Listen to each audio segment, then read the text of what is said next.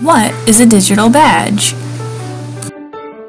Digital badges, also known as microcredentials, are having a big impact on the way we recognize learning.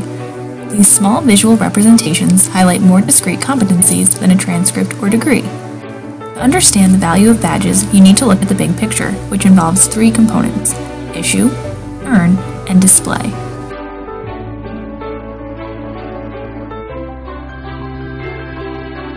Digital badges are symbols of achievement, accomplishment, and mastery. They recognize all kinds of learning experiences, from those that occur in traditional classrooms, self-paced online courses and tutorials, and real-world learning experiences. Badge issuers serve as the endorsers of these credentials. A badge issuer might be an individual, a community organization, an academic institution, or a business. Individuals can earn badges from all different kinds of issuers. For example, a learner might collect badges for volunteering at a food bank, completing an online course, or taking a workshop on coding. The badge earner collects these badges in a badge repository, also known as a badge backpack. They can then take these achievements with them from college to community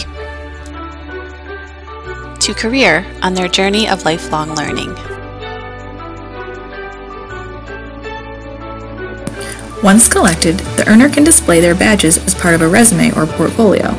The earner may choose to share a link with a badge backpack, which showcases all of their achievements, or they might showcase a collection of badges. They can also embed their badges on a professional profile, an e-portfolio, or personal website. Digital badges have metadata that is baked into the badge image. They are considered portable credentials because this data is maintained no matter where the badge is displayed. When an observer, such as a potential employer or admissions officer, clicks on the badge image, they can see detailed information about how the badge was earned. The Open Badge Standard, or OBI, was established in 2012 to standardize the metadata that is included in open badges.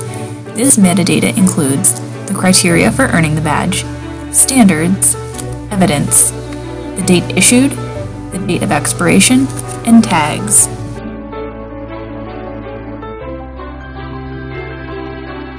There are several benefits of digital badges.